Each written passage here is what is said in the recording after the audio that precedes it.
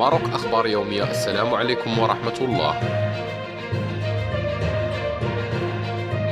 بكثير من الفخر والاعتزاز تداولت وسائل إعلام إيطالية قصة الشاب المغربي ياسين بلوقي 28 سنة الذي ترك بصمة طيبة في قلوب كل الإيطاليين.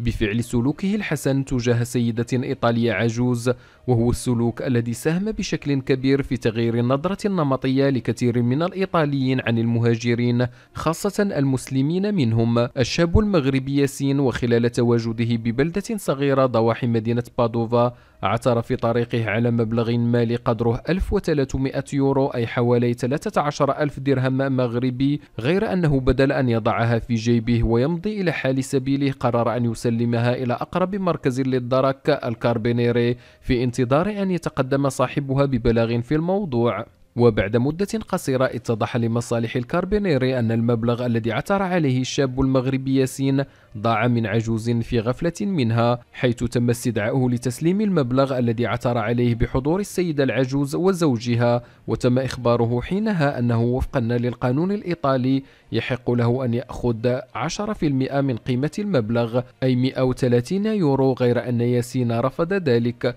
وأصر على إرجاع المبلغ كاملا لصاحبته واكتفى بالقول لا شكرا على واجب.